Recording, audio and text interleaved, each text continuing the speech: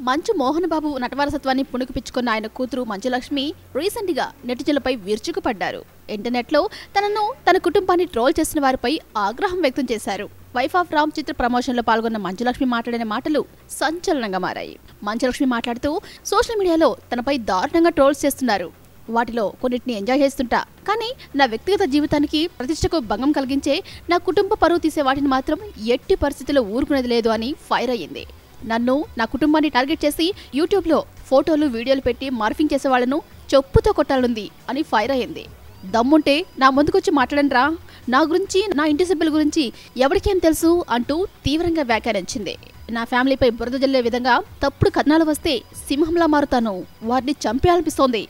వారిపై ఏమాత్రం పశ్చాత్తాపడను. చౌకబారి వ్యాఖ్యలకు ఓ హద్దుంటూ ఉంటుంది అంటూ హెచ్చరికలు జారీ చేసింది మంచువారమ్మాయి. ఒకరిని తప్పుపట్టే హక్కు వేరొకరికి లేదంటూ మంచులక్ష్మి స్పష్టం చేసింది. సోషల్ మీడియాతో కొన్ని లాభాలు నష్టాలున్నాయని వ్యక్తిగత స్వేచ్ఛకు ఎక్కువగా భంగం కలుగుతుందని వాపోయింది. ఇతరుల జీవితాల్లోకి తొంగి చూడాలనే ప్రయత్నం జరుగుతోందని ఆవేదన వ్యక్తం చేసింది.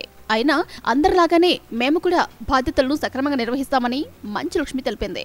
చూడాలి మరి దీనిపై నెటిజన్స్ ఎలా స్పందిస్తారో?